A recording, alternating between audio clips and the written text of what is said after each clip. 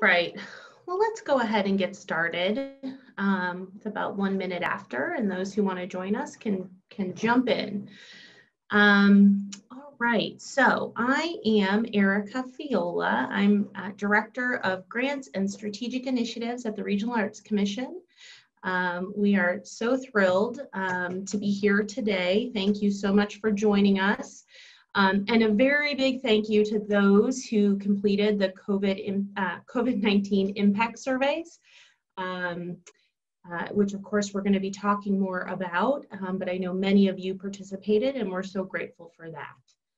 Um, before we even get into the core of our webinar today, however, um, it is my honor to introduce um, the Regional Arts Commission's new President and CEO, Vanessa Cooksey. Vanessa comes to RAC with a wealth of experience, and we are so excited for what's next under her leadership. Um, Vanessa started in her new role just over a week ago, so she's still very much just getting settled. Um, but I'd like to formally welcome her and turn it over to her for a quick welcome.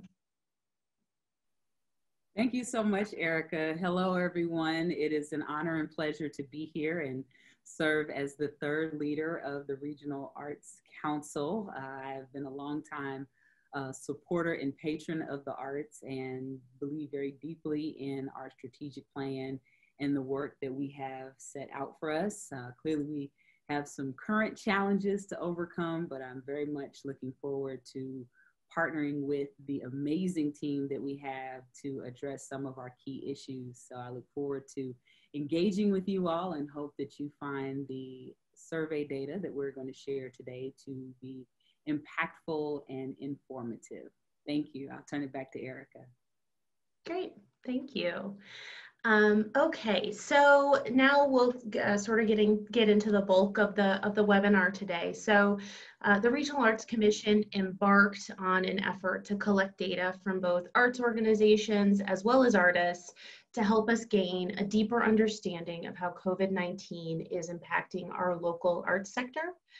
Um, the data will be used to inform RAC's future programming in an effort to be as responsive as possible in this unprecedented and challenging time in service to our local arts sector.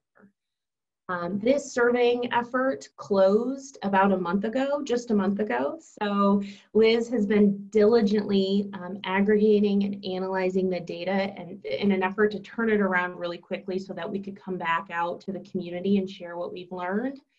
Uh, but because of this, we are still working through what RAC's future programming will look like specifically. So please stay tuned.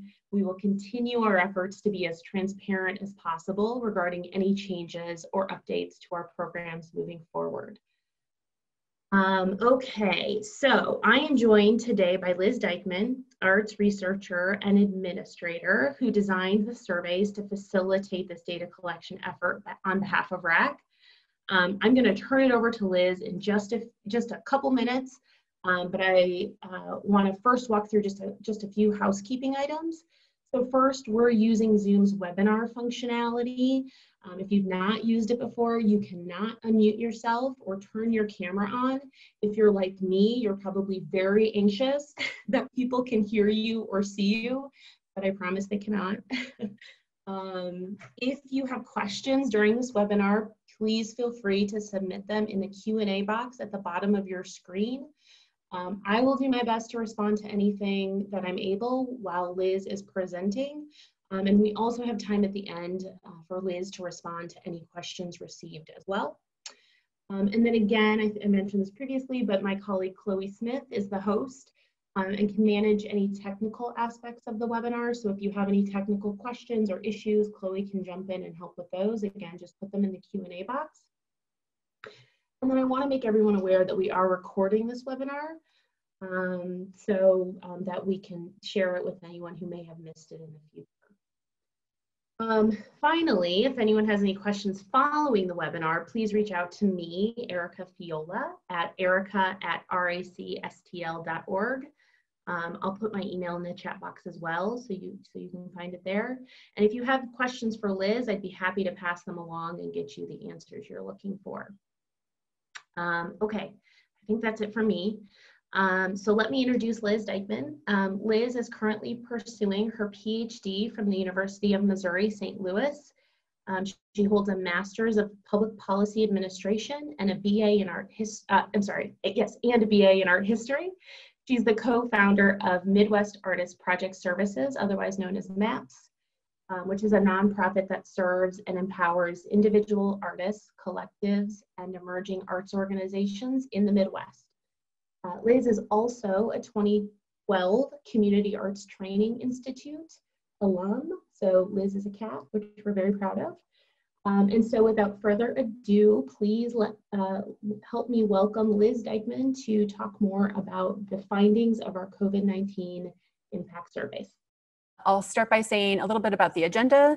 Um, so we're going to talk about uh, organizational uh, survey findings first, followed by the artist survey findings, um, and then shared challenges and how to meet them between organizations and, and artists before uh, we're able to take questions at the end. Um, if you filled out either of the surveys, you know that they were very robust. There were lots and lots of data and findings that we collected uh, due to time restrictions, maybe especially now. Um, we're not going to be able to talk about everything, but we will be talking about the most important findings um, as they relate to the impact of COVID-19 on the arts community in St. Louis. So the purpose of both surveys was to gain a deeper understanding about the impacts of COVID-19 um, on the arts in the region to inform future programs and offerings at RAC. There were two surveys. Uh, the first was for organizations, the second was for artists. They were open between September 23rd and October 9th. Uh, there were four sections, common sections across both of the surveys. Uh, the first was background information, economic impact, programmatic and artistic impact, and then lastly, understanding and meeting challenges, which is that um, shared section that I talked about earlier. Participation was voluntary and responses are private and confidential. So everything you'll see um, here is reported out in the aggregate. Um, those that were eligible to participate in the surveys um, needed to have a primary address in St. Louis, in the St. Louis metropolitan region, which we defined as an eight county region. Um, artists need to be over the age of 19 and organizations needed to be arts or non-arts organizations, but they did need to produce arts and cultural activities. So first, like I said, we're going to talk about the impact survey for organizations. So in terms of respondents, there were 152 respondents and almost um, all were located in St. Louis City and County. Um, it represents about one fifth of current registered um, arts and culture nonprofits in the region, which is a very good sample size. Uh, 45 different zip codes were represented with uh, 63103 being the most frequent, which is the Grand Center Arts District. Um, respondents were most likely to be tax exempt nonprofits and arts organizations. Um, about one sixth of respondents uh, were non-arts organizations. And just for a little bit of clarity, when I say arts organizations, those are organizations whose primary mission is to produce arts and cultural activities. Non-arts organizations do not specify uh, that their primary purpose is to produce arts and cultural activities, but something else.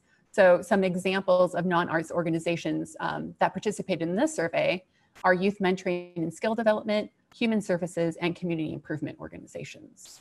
Um, other types of legal statuses um, of uh, participants were for-profit and commercial businesses. They made up just about 7% of respondents for the organization survey, um, unincorporated organizations and government agencies or departments.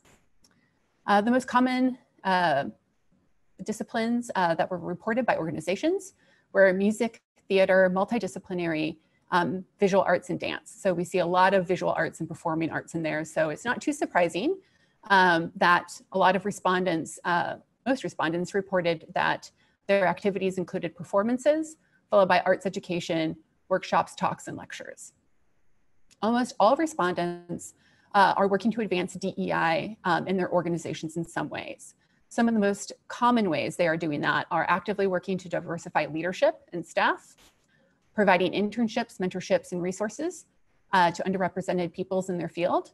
And lastly, collecting demographic data for DEI purposes. And then 15.8 or about 24 uh, respondents identified as Black-led organizations. Um, the most common characteristics of these organizations were that a majority of uh, their senior staff are Black or African American. Activities primarily present Black or Afro African American history, lived experiences, and or culture. and the executive director is Black or African American. And I do want to say that compared to all respondents, um, Black-led organizations are more likely to be non-arts organizations and to have a smaller budget size, um, specifically budgets of less than $100,000. So when we look at respondents by size, um, you know, you see that most respondents have budgets under $100,000, uh, followed by that 100,000 to just under the quarter million dollar mark. Um, this is pretty representative of registered arts nonprofits in the region. I do have to say that, that it does lean a little bit towards the larger nonprofits. Um, most nonprofits, um, I should say registered nonprofits, arts and culture nonprofits in the region are small. Um, this uh, survey respondents here were actually much more representative of the population in the region um, than the previous AFTA survey that we've talked about before. When we look at economic impact, the total economic, estimated economic impact is $35.8 million. So that is the sum of revenue loss and increased expenses or unexpected expenses. Um, nationally, total economic impact per organization is $30,000. And here in St. Louis, in the St. Louis region, it's about $35,000. Given that these are estimates, um, I think that they are pretty comparable numbers, especially since we don't know the margins of errors and say our estimates. So I think that, you know, what we're seeing nationally is reflected locally and vice versa. Um, clearly, the bulk of, you know, economic impact is from revenue loss. Almost all respondents uh, reported revenue loss, 92.1%. Median revenue loss per respondent was $30,000 um, and the top five most common decreases in revenue types uh, were earned revenue, followed by government or public charity grants, individual donations, corporate donations, and then lastly, in-kind donations. I will say that decreases in revenue types do not vary significantly uh, by Black-led organizations or by size, really. Um, there is one exception in that the largest organizations, particularly those with budgets of $10 million or over, uh, we're less likely to re report drops in individual and corporate donations. Um, the survey, uh, when we looked at, pardon me, increased expenses, about one quarter of respondents uh, reported increased expenses. The median increased expenses per respondent was $10,000. Of those that experienced increased expenses, they were most likely to report increases in the cost of cleaning and sanitation and health related items, followed by technology and then cancellation fees. Um, I will also say something that's notable is that even though Black-led organizations make up only 15% of respondents, they accounted for almost one third of the increased expenses. So they are disproportionately um, incurring increased expenses because of COVID-19. Um, you know, there are about 2.6 of respondents are not certain that their organization will survive the impact of COVID-19 uh, but most believe that they are likely to survive. I do want to point out in the AFTA survey, uh, the Americans for the Arts um, COVID um, impact survey that we've discussed in the past or at the previous presentation, um, is that if you look at the findings from that survey, which most recipient or pardon me, participants filled out in March and April versus today, there's actually um, an increased percent of organizations that believe um, they're going to be able to weather the storm, um, actually six times more. So I think that over time, to me, it seems like expectations of survival are actually improving. And then lastly, for each section, we did ask an open-ended question um, so that participants could share anything that we may not have asked about, um, especially here in terms of economic impact. Um, some themes that rose to the top in this question uh, was of, unsurprisingly, I think, financial hardship. A lot of organizations making do uh, with less at this point in time. Um, and also, you know, being, feeling they're in a very precarious uh, position, not knowing um, when they're gonna be able to return to, you know, producing the kinds of activities that they have in the past. Um, next is reimagining organizations and programs. Quite a few people uh, did discuss how they were really putting you know, they're trying to be innovative and flexible and think about how their programming um, can move online or in other ways make sure that they're adapting to the times. And then lastly, some participants did talk about prioritizing relief efforts. So um, especially for Black-led or small organizations, um, you know, seeing that there's potentially greater need for those, uh, those organizations in the region. And now we're going to look at job losses in terms of economic impact. Um, you know, so we're looking at three different types um, of employment, if you will. So independent contractors, part-time, and then full-time employees. Uh, clearly, the largest losses were among contract or independent contractors. And when I say independent contractors, those were defined on a legal basis and includes local and non-local artists, seasonal workers, and expert, you know, consultants. Um, there was a 12.2 decrease in full-time employees and a 1% decrease in part-time employees um, from January to September. Uh, median losses per respondent for full-time employees was two, part-time was three, and then independent contractors was 10. So as I said earlier, you know, the bulk of the um, losses were contract, independent contractor work. 12.5% um, of respondents reported laying off or furloughing full-time employees. Um, just a little bit more reported laying off or furloughing part-time employees, but over 60% of participants reported canceling or postponing independent contractor work due to COVID-19. Um, in the AFTA survey, uh, there were twice the proportion of respondents who were using financial reserves, and respondents were much less likely to cancel or postpone contractor work. So again, if we're able to look at that in terms of um, longitudinal change, I think it's possible um, that that signals a different approach to dealing with the economic impact of COVID-19 over time. That, you know, you know, at first, um, maybe financial reserves uh, was how a lot of people were responding. And now um, it seems like contractor work is maybe something that's happening a little later on. Um, when asked how respondents were responding to the economic impact of COVID-19, most said, like I, unsurprisingly, that they are postponing or canceling contractor work. Um, they were also likely to apply for federal CARES Act funding, use financial reserves, um, or try to improve or increase their fundraising efforts. Um, I will say that when you look at Black-led respond organization respondents, um, they reported very similar um, actions due to COVID-19. We're going to look at economic impact by size. Um, and I know this is a lot of numbers on the screen, so we're going to start with the left-hand column and work towards our right. Uh, so when we look at revenue loss, you know, as expected, revenue loss increases with the size, uh, with the largest respondents, those especially budgets of $10 million, uh, reporting the bulk of revenue loss. For increased expenses, um, they actually do not increase the size. Organizations with less than $100,000 make up almost one third of the total increased expenses, right behind organizations with budgets between one and $4.9 million. Um, again, Black-led organizations account for a disproportionate amount of total increased expenses. Um, when we look at, you know, the economic impact in terms of employment, uh, larger organizations were more likely to have higher full-time and part-time employee losses. That is, uh, laying off or furloughing employees part-time or full-time. Um, you know, especially organizations of budgets of from five to $9.9 million. And then that's simply, I think, because they employ more of these workers than smaller um, organizations. Um, the obvious exception is organizations with budgets of $10 million or more, which reported, reported no full-time or part-time employment losses.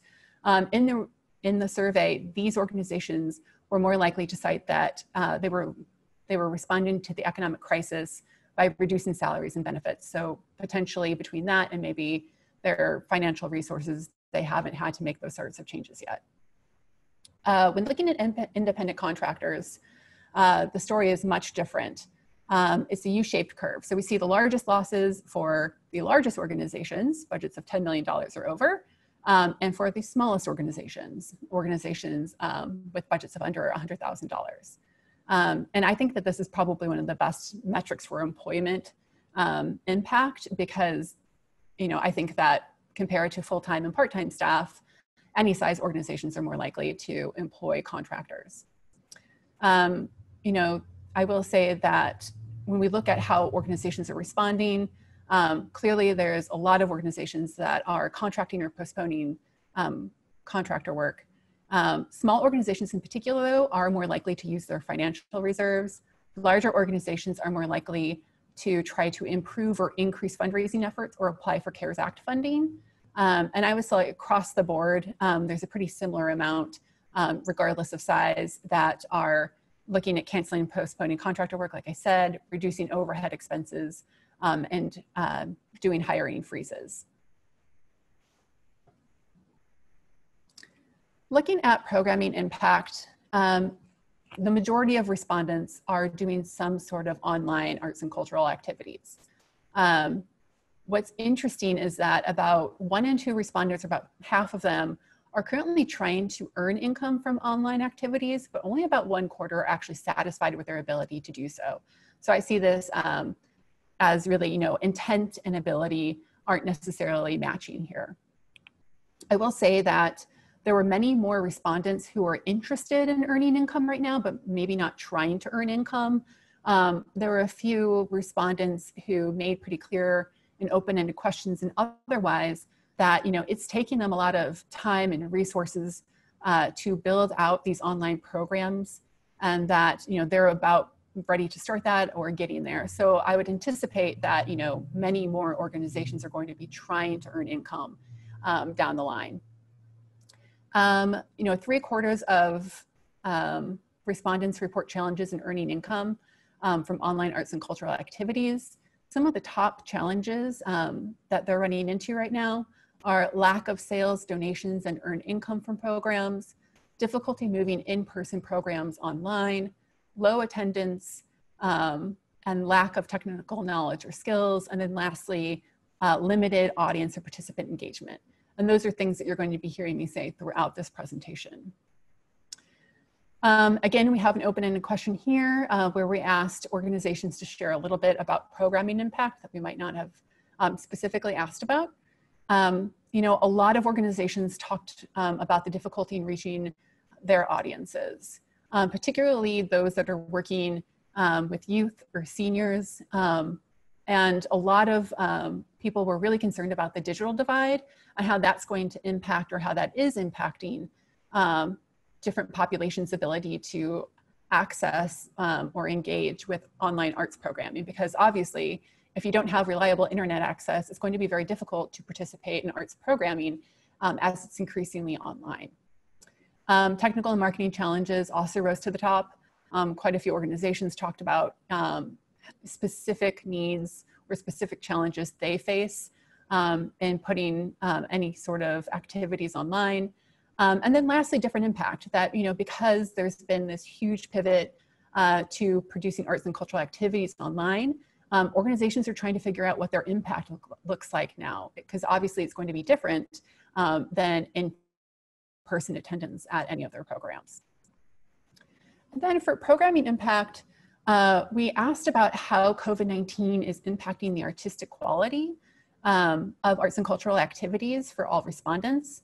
Um, generally, small and mid-sized organizations, but especially organizations with budgets under $100,000, were more likely to report the highest decreases and increases in artistic quality of activities. Um, by comparison, the larger the organization, the more likely they were to report no change on each item. Uh, there are two items of special note, I think, for increases among those small nonprofits. Um, one was attracting and retaining audiences. They had above, um, re, uh, pardon me, all respondents, they reported above all respondents uh, being more successful or increased, pardon me, um, as well as budget setting goals and evaluating activities. Um, I will say the only exception was offering distinctive and unique activities in which there was kind of this U-shaped curve um, that favored larger organizations. Um, that is to say that uh, mid-sized organizations really had mixed results. Um, but you know, overall, oh, pardon me, I also want to say really quickly that Black-led nonprofits, like small nonprofits, uh, seem more likely to report increased artistic quality of activities, especially offering distinctive and unique activities. Um, on every item, Black-led organizations reported increased almost twice as much as all respondents.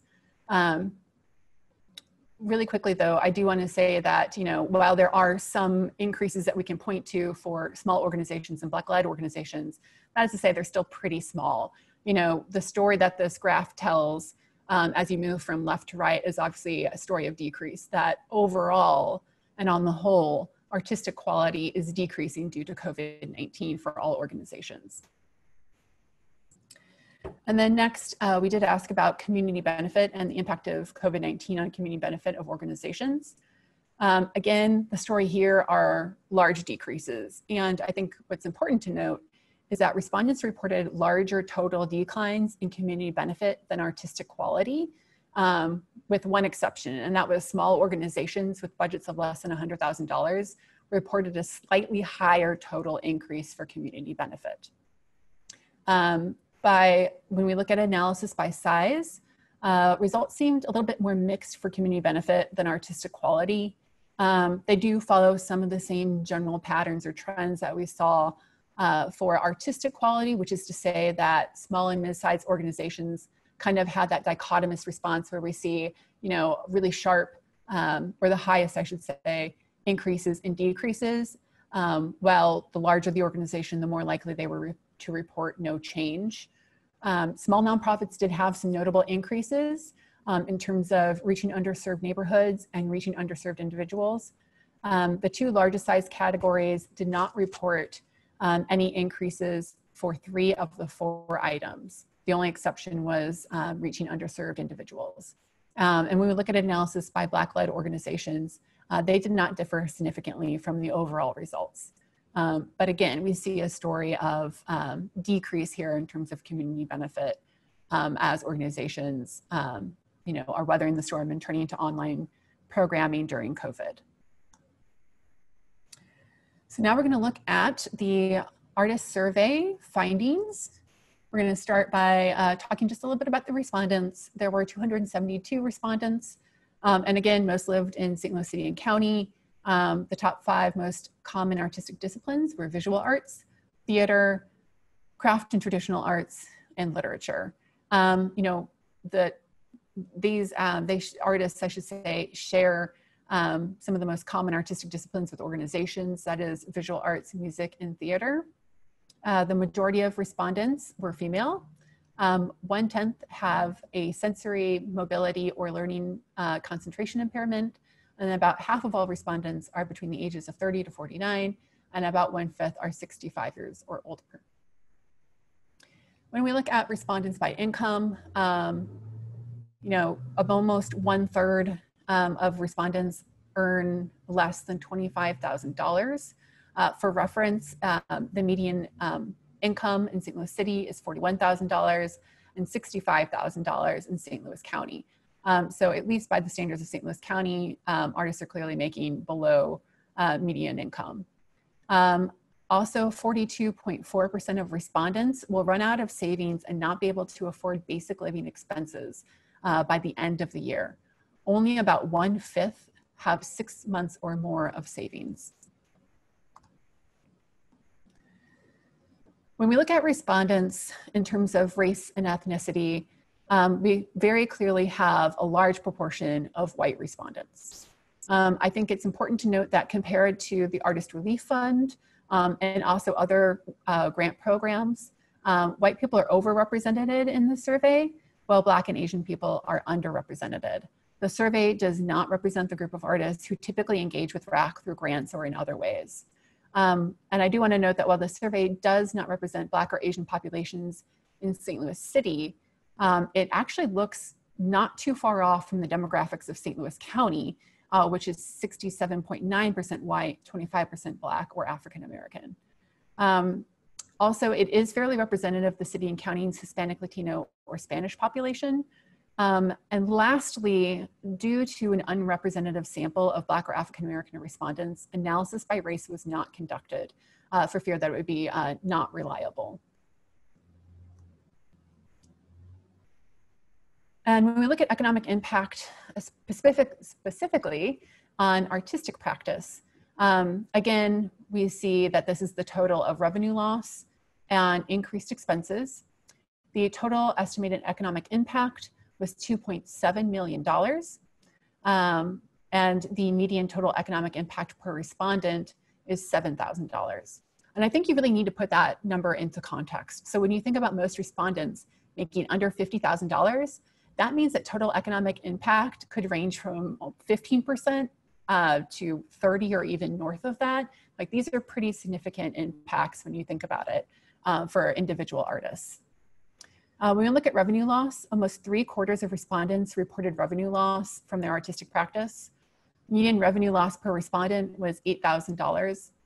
Cancellation, loss, or postponement of existing work, lack of new work opportunities, and decreased sales or donations were the most common reasons artists cited for a revenue loss. Uh, when we turn to increased expenses, one fifth of respondents reported increased expenses. Median increased expenses uh, were about $1,000 per respondent.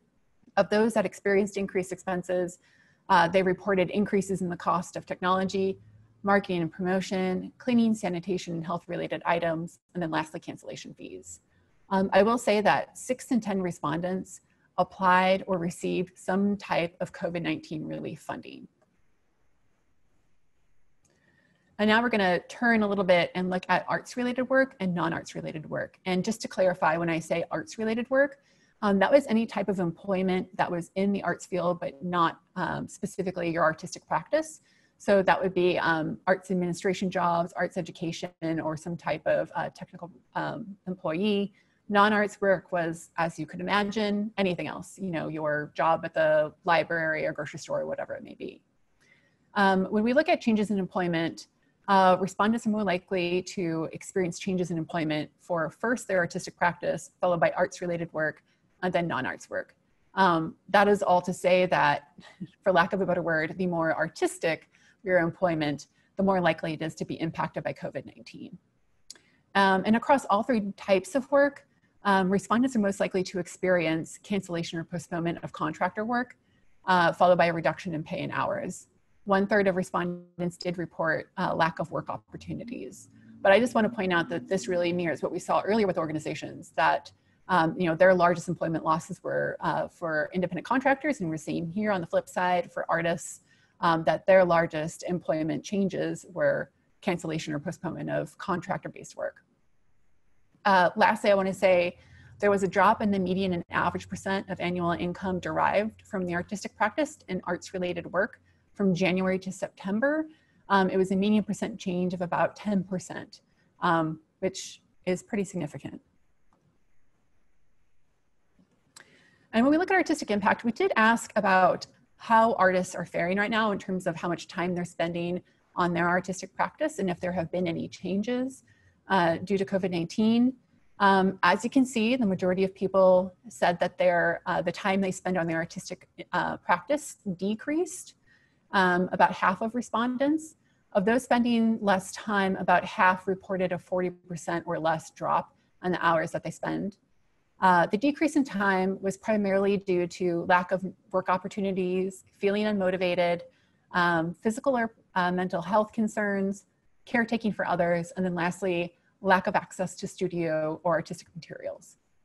Uh, we do have, you know, about a, a, what, a, pardon me, a quarter um, of respondents did say that they increased their time in the studio uh, due to COVID-19. Um, and it was a similar uh, proportion that said they were, uh, pardon me, it was they were spending similarly more amount of time um, compared to who they those who were spending less time. So about 40%, um, we're looking about a 40% increase in the amount of time that they're spending in the studio. Um, and the reasons they cited for increased time uh, was decreasing other responsibilities to process and reflect, generate income from their artistic practice, and then lastly, desire to produce art for others. Um, you know, many respondents are currently trying to earn income from online arts and cultural activities, but less than one quarter are satisfied with their ability to do so. Um, similarly to organizations, uh, three quarters of respondents um, said that they were interested in earning income. Um, and also, you know, I think it's important to note that for both organizations and artists, we have this again division between um, intent and ability that you know there's a high percentage of artists and organizations trying to earn income from online arts and cultural activities um, but not a large amount that are satisfied with their ability to do so. Um, also i should say that the top challenges um, that artists uh, uh, reported in producing online activities uh, were uh, kind of similar to organizations again. You know marketing and promotion limited audience or participant engagement lack of donations or sales. Um, so the two challenges that overlap with organizations are lack of sales, donations, and earned income, um, and then limited audience or participant engagement. Uh, so we're seeing that across the board. Uh, the top issues impacting artists right now um, are lack of studio or creative space, followed by food and utilities, health insurance, housing, other, and student loans. When I look at these top issues for artists, you know, I think that it's important to again return to, um, you know, the economic, um, pardon me, their income. And, you know, as we saw earlier, they're low earning uh, for the most part, lower median income, the most in the region. And now we're facing significant uh, rates of, you know, unemployment and revenue loss. So I think for me, at least, it kind of follows that the items that are considered most important are those that we also sometimes talk about as basic needs, like food and utilities, health insurance, and housing. Um, uh, lastly, I should say that, you know, again, we asked this open-ended question about um, artistic impact and how it's impacting artists right now. Uh, there was, again, a lot of uh, respondents talking about decrease or increase in art making or creativity, um, very similar to what we just talked about.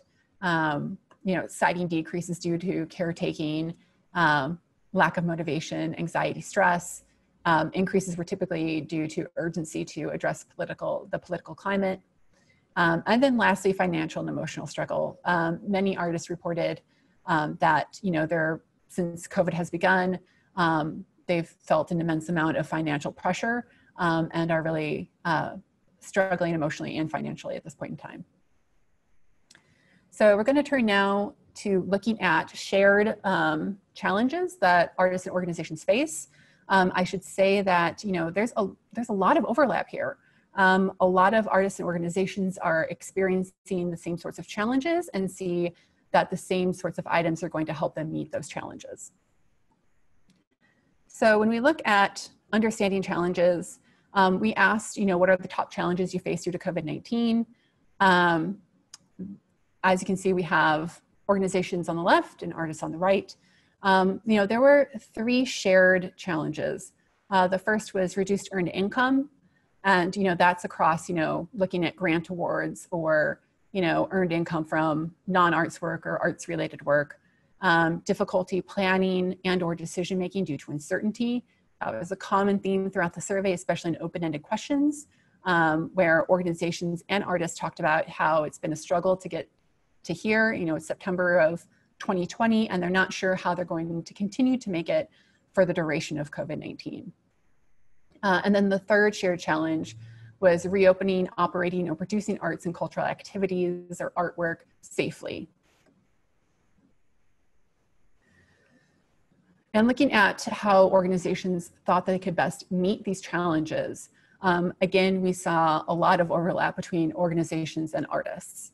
Um, so I think unsurprisingly for everyone here, um, the top one was financial resources, uh, followed by consulting. And then there was a split um, for third place between artists and organizations, uh, organizations citing administrative assistance and artists citing trainings and workshops.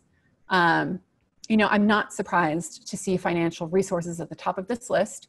I was a little surprised to see consulting as a second for both, but it makes me wonder a lot about how um, organizations really want to be able to maybe work one-on-one and be able to address their individual challenges at this point in time.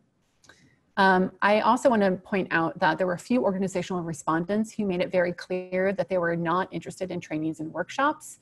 Um, they often discuss that there are a lot of trainings and workshops available to them through their professional associations or otherwise, and that that wasn't the top of the list of um, how they thought they could best meet their challenges. Now we're going to dive into a little bit more into how to meet those challenges. So for the first one, uh, financial resources, um, we can see that there is obviously a major interest in just general operating funds for either organizations or artists. Um, you know, I think that that's not too surprising thinking about, you know, right now the flexibility those funds provide and, and potentially the need to cover overhead um, and other types of expenses for both artists and organizations. Uh, second was project-based funding for both as well, followed by capital project funding for organizations, low interest loans, um, and then for artists, low interest loans, and then uh, fiscal sponsorship. Um, consulting was the second shared um, way that both organizations and artists saw they can meet their biggest challenges. Um, you know, I think that again, we see some uh, common themes here, right? There's a real interest in trying to increase income, um, whether that be, you know, earned income or donations. Um, there's also real interest in marketing, branding, and promotion for both artists and organizations. Um, something I did want to point out too for organizations, and we talked about at the very beginning of this presentation, um, is that a lot of organizations right now are actively working on diversity, equity, inclusion. So seeing diversity, equity, inclusion show up as, you know, as number five on the organization list, um, I don't think is too surprising. And then lastly, we're going to diverge a little bit here. So administrative assistance was what um, organizations cited as the third way they thought they could best meet their challenges. Um, and some of the topics were um, that floated to the top for organizations in terms of administrative assist, um, pardon me, administrative assistance um, was fundraising and development, marketing, promotion, and branding, and information technology. So again, those are not new. We've been seeing those across different types of ways um, different types of challenges and different ways that organizations think they can best meet those challenges. And then lastly, were trainings and workshops. And again, this was for arts, um, artists only, not for organizations. Um, and again, we see a real consistency with consulting topics and just general findings throughout the survey. Um, there was a real interest in increasing income, earned donations, or pardon me, earned income, donations, et cetera, um, followed by marketing, promotion, and branding, um, I will say though that number three is mutual aid for artists. And for those who may not be familiar with the idea of mutual aid, it's when communities take on the responsibility for caring for one another, oftentimes through voluntary and reciprocal exchange of resources and services for mutual benefit. Um, I did think that was pretty interesting that that rose to the top. Um, it made me think a lot about, you know, artist um, ability or inability right now to network and have meaningful relationships with their peers. All right. I feel like I, I flew through that, but um, that is the bulk of our findings. Um, and I am happy now to take any questions that you might have about anything that I just presented on um, in terms of findings for organizations and artists. And Liz, there are two questions in the chat in the Q and A, and I can read them if you'd like. Sure. Um, so one is, why does Liz think Black-led organizations have higher COVID expenses specifically and higher expenses generally? So I don't know if we got any context on that in particular. Yes, so it, I, don't, I don't think that that's what the data says. So what I did is I analyzed um, increased expenses by Black-led organizations versus all respondents.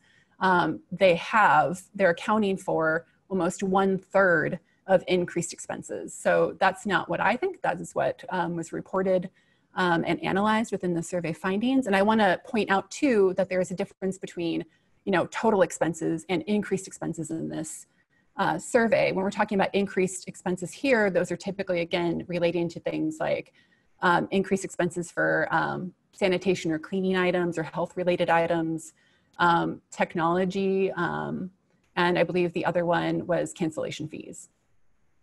I hope that answers the question.